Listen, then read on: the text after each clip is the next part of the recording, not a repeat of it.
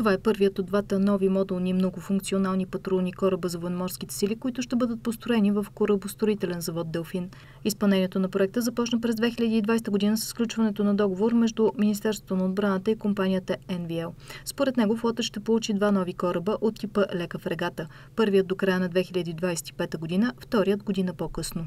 Фактът, че се постигна един договор и проект като наистина страхотно съчетание, едно съотношение на качество, ефективност и цена. Постигна се едно устойчиво планиране на успешен проект, защото той върви строго по план. Аз се надявам, че наистина той ще завърши в строк. Надявам се, че тук наистина във Варна ще се интегрира високотехнологично оборудване и въоръжение. Ще се търсят нови перспективни решения заедно с нашите партньори. И това ще отключи перспективите за много хора за напред.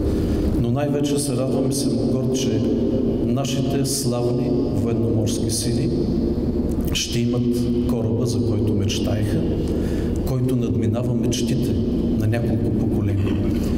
Кораб и екипажи, с които ние ще се гордеем като страна.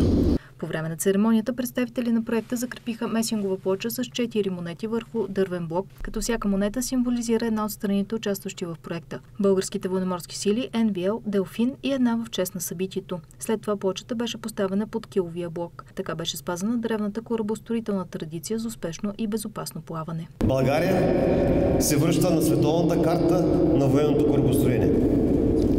За нас, военните моряци, това не е само начално строителство на. За нас това е реализацията на десетилетна мечта българските военноморски сили да имат нови бойни кораби. По отношение на цена, качество, способности, аз съм убеден, че това ще бъде един от най-успешните модернизационни проекти на българската армия. За мен като министър на отбраната, ускорената модернизация, превъоръжаването на българската армия са без альтернатива. Придобиването нови модерни платформи, въоръжения, оборудване, екипировка един от начините за постигане на по-бъспособна армия. Днес трябва да, трябва да бъдем напълно наясно,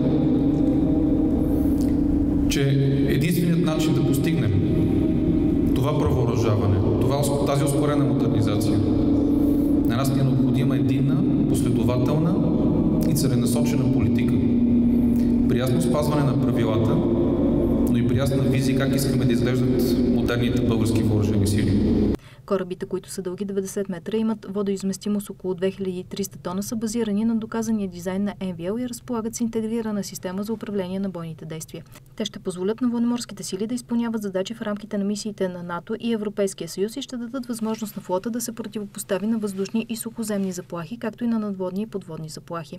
Той е истински празник за нас, защото бъдещите моряци от военноморските сили, в които ще развяват гордо флага на България по морета и океани, ще имат един съвременен кораб, способен да изпълни всички задачи, които стоят пред нас, да защитава нашите морски интереси и интересите на България навсякъде по света. На първи от новите кораби ще бъде присвоено името Храбри и бордови номер 12, а на втория Смели и бордови номер 11. Така ще бъде спазена традицията на българските военноморски сили на новопридобити кораби да бъдат присвоявани имена на отличили се плавателни съдове.